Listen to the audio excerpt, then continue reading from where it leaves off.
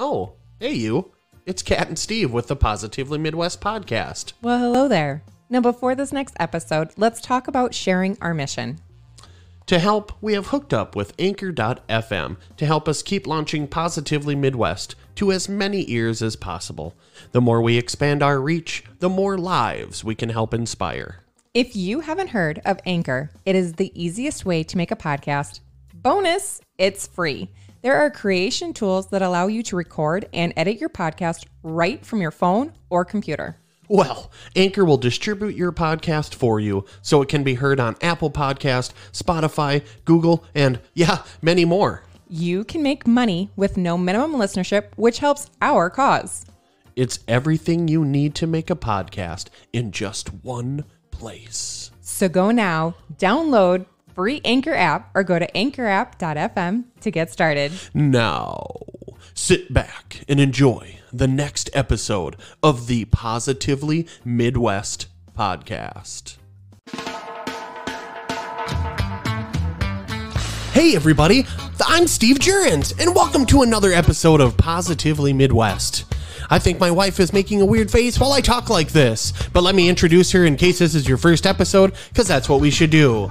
Across from me, as always, is my wonderful wife, Catherine. Hi. Hi.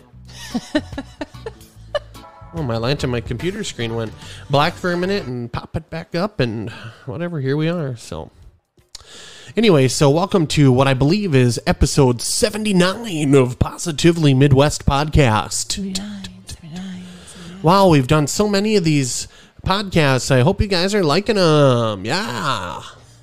If this is your first one, welcome to the madness. If it's your first one, whoa, sorry about it. And if this is your 79th one, thanks for sticking around. Yeah, because that's even more. Whoa. okay, so I thought, you know, we like to tackle things that Catherine and I still continue to work on, need to work on, could learn more from, and learn with you guys. And I thought, well, we're pretty good at arguing with each other over 21 years.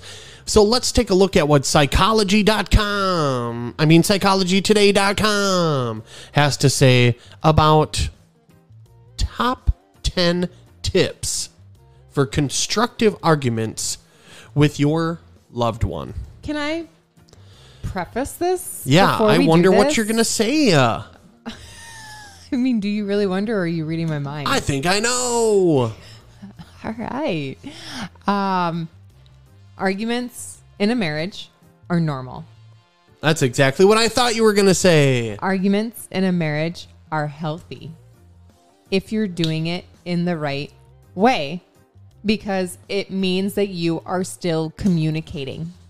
If you have given up hope in trying to talk things out, then you're in a different boat and then you need to seek some different, you know, maybe help for your marriage or your relationship. But if you are still arguing and still communicating and still talking, those are good signs and you are doing great. Yeah, and it does it with everything we've talked about in the past and whatnot as well. It takes two to do these things. So if you're, however, in a vicious cycle and you don't change for your partner, you don't change for yourself. Excuse me, I don't want you to just change for other people. But um, if you're, look, you know how I like to get dramatic. If you're out murdering people and your spouse says stop doing that, uh, you might want to change for them, which in really is changing for you. But Well, and for society, if Society, you're yes. people. Thanks for always uh, making my uh, dramatized situations more realistic. oh, yeah, you're welcome. I'm all about keeping it real here. So every couple argues, and if done correctly, it can be a pathway to growth. Every couple argues. Some of them do it overtly by yelling at each other, while others do it covertly by avoiding contact and conversation. That's me. Sometimes. I can be both. Whatever the method, the result is the same hurt feelings and disenchantment. Here are my tips to help you argue constructively. If done correctly, arguments can be a pathway to growth and problem solving. And this is by Barton Goldsmith, PhD, again at psychologytoday.com. We just had Din Din, so um, sorry if um, it, sometimes it sounds like I'm uh, being quiet awkwardly. It's probably because I don't want to burp on the podcast. Heartburn. Heartburn is real. You know, it's, It's so. not heartburn. I'm trying not to burp on the oh, podcast. I said. So go ahead, preachy. Preach from the soapbox and let us know. I mean, I feel like topics like this are ones that we're like not, you know, trained experts on, but that's why I'm reading an article from psychologytoday.com. yeah, but the link will be in the description of the podcast. but experts in a sense because we've talked about our marriage in past episodes. You know, we've been together 21 years. We've been now married 17. And so we've definitely had our fair share of arguments. And while we talk about how much we've overcome, we, like he said at the beginning, we are continuing to work on these things and work forward. And so, you know, a topic like this even comes about say, you know, our anniversary, I got him a gift and it says, sorry for what I said while docking the boat. Okay. It can be true for our first time ever docking our boat, or it can be true for our how many ever time of parking a camper. You know, it's, we still have those things that can trigger the incorrect way of arguing so that we're doing the screaming of the matter of arguing. So now it's taking these topics that we find and that we've been living through and finding a way to educate and remind ourselves the proper way to handle it so that then we can relearn and want to share some of that knowledge and growth with all of you. Did I explain too much? I'm sorry. Uh, nope. I just, you know, I'm keeping it real. I'm trying to explain, like, even why. Well, you want to keep it real since you bring it up. So we are camping at a local camping establishment, and uh, Catherine rolls up in, in with the vehicle and the camper and goes to back up, and already is a ball of anxiety, and already is nervous, and uh, potential embarrassment ensues because of what could happen, worst case scenario, so on. Uh, and a lot of the reason that is correct why we do so much self help and uh, personal development and things and try to teach others is because we realize how difficult it really can be. So uh, already um, she's all wound up, and I am a little wound up because I'm anticipating that she's going to be that way already.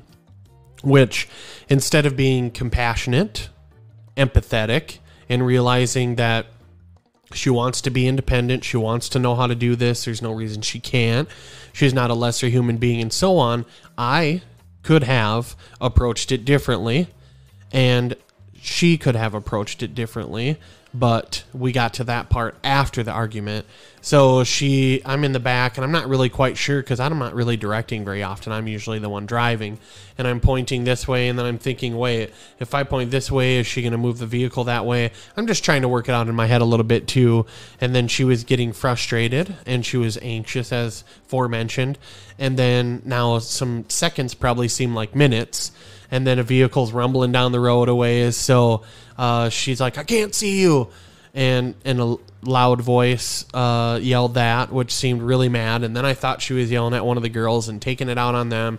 So I come around from the corner and I was like, "Hey, don't be acting like a asshole!"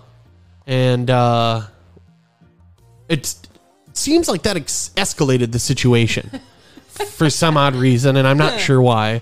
But then she said, I'm just going to go. I don't want to be there. And I'm like, no. And then she, and I, and then all of a sudden, uh, we were screaming at each other and we got the camper parked and then we put the shit down and did what we had to do and disconnected it. And then I took the step that I would not have taken probably in the past and I forced her to talk about her feelings and I still stood up for myself, allowed her and she did stand up for herself and then we both tried to have compassion for each other and empathy and I believe we even both apologized and then move forward from there. So it set off the weekend because our boat that we'd had for 3 weeks then we went to take out and I couldn't trim it up and the battery was dead because we learned that the navigation light is on when it's up and on when it's down. off in this electrician slash engineer manufacturer's world, off is in the middle. Every switch I've ever used in my life, down is off. So you could click up one for whatever the setting is and two for the other setting. Yes, if Jiminy that doesn't help, you know, with the mood already being thick. Yeah, but we were able to make it through most everything, and I can't think of a day where we don't probably argue about something. It could be a debate, could be an argument. I don't know what your context, listeners, is of an argument, but obviously, if there's any physicality, you need to walk away from each other. Someone needs to go, or you need to call the police. If you're screaming and hollering and effing you and effing that, and you got your children children around, we're pretty open with our kids, but there's times where we pump our brakes if we're getting too raunchy or nasty with each other. So you have to know what level, DEFCON level of your argument is, but we probably argue at least once a day. And you know, side note, In the middle of this podcast, I think we've already shared glances. okay, so side note, it's my job to back in the trailer when we load the boat when we go to leave because that gives me less anxiety than to actually drive the boat, which seems so stupid, but that is my reality is I would rather be in charge of the trailer. And he can't tell me how to back it in cuz I can't hear him from the boat. So, I'm all on my own and I but you can hear her talking to the moon. because I'm talking to myself because I'm going I can't see a left, right. Oh, what? Where? And No. then forward a bit, and you. Because I'm talking to myself. I'm going, I gotta go to the left, so I gotta turn to the right. I sing myself a little song, and then when I'm doing it at 11 o'clock at night and it's pitch black, yeah, I'm talking to myself, but all in a positive fashion because I'm giving myself those affirmations. Yes. To do And- it, and so now it's gotten much better. Yep, and you've done a great job at it. Did you have an energy drink before we started this? No, Usually you're leaning back, half asleep, yawning, and then I say blah blah blah, and look, and you go, yeah, I don't know. Apparently, this topic yeah, hits really good with me. no, yeah, I think you're right. Yeah, if you hear the kabooms in the background, our neighbors are still celebrating the 4th of July. yes, we're coming off of the Fourth of July weekend. Obviously, this will come out July seventh, twenty twenty one, at seven a.m. Central Standard Time. But we're currently recording it July sixth because we're last minute this week. But this topic has been top of mind for at least twenty eight minutes. So. psychologytoday.com an article put together for the 10 tips for constructive arguments with your loved one by Barton Goldsmith, PhD, who calls himself an emotional fitness. Number 1, understand that anger itself is not destructive. There is a vast difference between anger and rage. When someone is angry, they need to state their feelings. They don't break things or relationships. That is rageful behavior. So we talked about that already. If it gets out of control, you've got to step away or call somebody or do something. Go. Number two, talk about your feelings before you get angry. When you or your partner can approach the situation as it happens and deal with it in a safe way, it may not get to the point of being an argument. Sometimes things just need to be verbalized, and most arguments can be avoided if your partner understands how you feel. So yeah, don't wait until one of you is is peeved later, and then you're still you bring up something from three four days ago, and then you can't really even talk about it because you don't remember the complete feelings or situations or how it went. You're just trying to throw it in their face to win an argument. Number three, and here's going to be the most difficult one, folks. Don't, and I repeat, don't raise your voice. It's amazing how issues of hurt feelings or differences can be resolved with a whisper. I counsel couples who are yellers to only communicate with a whisper, and it greatly reduces the anger factor in their relationships. Number four, don't threaten your relationship and don't take every argument as a threat to your relationship. This type of emotional blackmail puts the other partner in a panic slash flight or fight mode. I think you put flight in there twice, bro. While you're telling them you want to leave, they may be making plans to find a roommate. In addition, they may be so devastated by the thought of losing their family, they go into a deep depression and are unable to give you what it is you need. Then it would be flight or flight. You know, because they're not fighting for it. It says they're, panic slash flight or flight mode. Yeah. You said flight or fight because you thought he just typed flight twice. But that's what he's like meaning is that pretty much your partner isn't going to want to fight for the relationship. They're just going to be like, well, screw you then, bud. And they like give up. Yeah, it could be. Holy smokes, that was a loud one. Number five, don't stockpile. This is where you bring up issues from the past to use as a hammer against whatever problem your partner has asked for help with. Nobody heard your mm-hmm. Oh. Mm-hmm. Deal with their issue first, and if you really have unresolved feelings from past problems, talk about them at another time. Remember, folks, it takes two for all of these things to work. Remember, folks, it takes two of you to make all of this work. Number six, don't avoid your anger. If you stuff your feelings long enough, you will explode and say or do things that you will regret. You already know one of my favorite quotes is Don't make a permanent mistake because you're temporarily upset. Anger does not diminish love. You can be angry with those you love. In fact, the ones we love hurt us the most because we love them the most. Number seven, create a process for resolving problems without anger. Start by each of you taking five minutes to state your feelings. Then take a 20 minute break to think about things and come back to the table for another 10 minutes to discuss how you think you can deal with the problem. Also, know that it's okay if the problem doesn't get solved right away. I would like to add to that one too that proper, and maybe people are different about this, but for me myself, proper conversation etiquette is a big deal. If you overtalk or you interrupt or whatever else, we've argued while arguing about arguing and about how to argue. And don't cut me off. No, you cut me off. Okay, don't cut me off. And then minutes later, oh, you cut me off. And you're just mad. So you're not really finding a solution, you know, there either. So I like that little tidbit. Number eight, abuse is never allowed. This includes verbal abuse, any type of violence, including slamming doors, breaking plates, or hitting.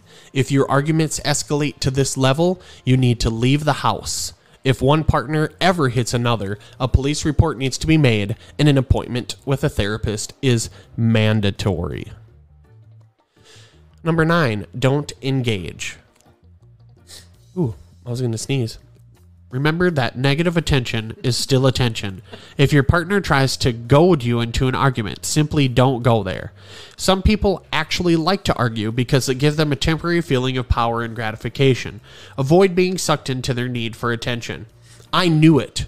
I have said before that some people must just like to argue because they like that shit. And I was right. So I bet that some people just like to feel bad. They like to dr- dramatize things. They like to argue. They like to be negative, you know, and so that they need, you need that therapeutic, you need those practices, happiness practices, positivity, the gratitude, all that stuff. Well, it's kind of like children that misbehave sometimes how they're seeking attention even if it is a negative attention that they're seeking that attention so it goes the same way Yeah. And last but not least, number 10, listen to your body.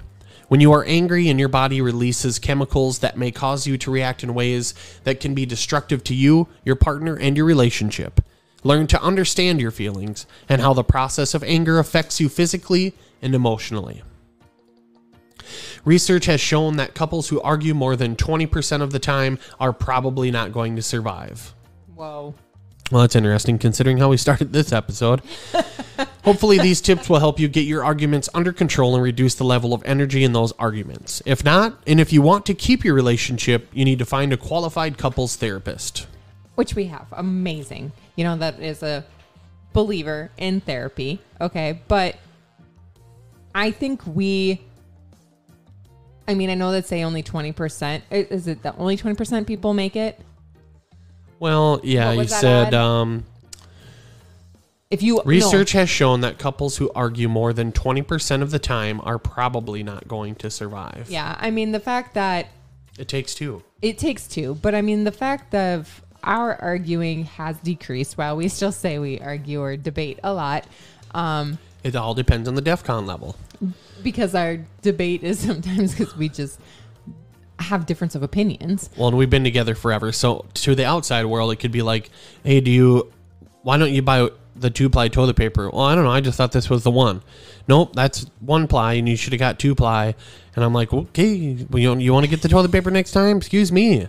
And then it's just probably a way for people to vent, or someone like us who've been together for hundreds, Yeah. hundreds of years. But we've we've defied the odds considering most things in our marriage. We've beat those odds. So most things that we have gone through and that we have overcome are all pretty astonishing in those percentages. And so um are you taking pictures and I have makeup like smeared all I over just- my face? Fayette just snapped, so I just sent basically the microphone and your blurry face. Okay, So nobody's gonna see your warped mascara or whatever that stuff's Yeah, I have like raccoon eyes because I've been rubbing my eyes so much they itch. Okay, anyways, um, oh crap, what was I saying? Oh, anyways, define that. So you know, I had a friend recently go ask me like, how did you guys make it through it? And I was honest, and I said, I honestly don't know. There were some days that maybe giving up would have been easier, but I guess that's not the way we wanted to do it.